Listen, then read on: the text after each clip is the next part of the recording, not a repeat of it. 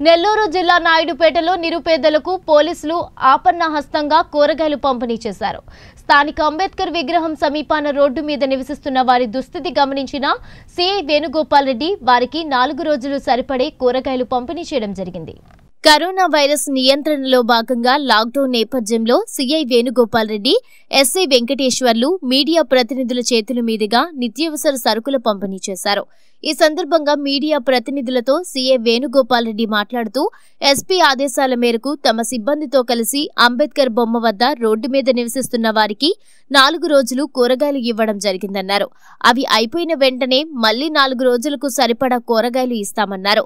నిరుపేదలకు తమ వంతు సాయం చేయడం చాలా ఆనందంగా ఉందని సీఐ వేణుగోపాల్ రెడ్డి ఎస్ఐ వెంకటేశ్వర్లు తెలిపారు.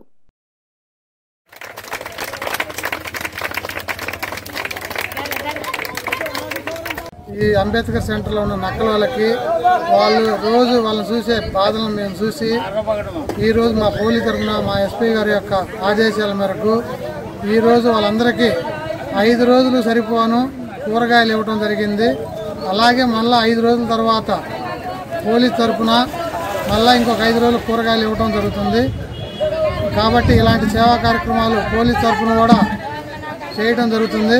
ఎప్పటికప్పుడు మా ఎస్పీ గారు నెల్లూరు ఎస్పీ గారు ఎంకరేజ్మెంట్ చేస్తూ మనం కూడా సేవా సేవా దృక్పథంలో ఉండాలా అని చెప్పడం పిలుపు మేరకు ఈ చిన్న చిన్న కార్యక్రమాలు చేయడం జరుగుతుంది.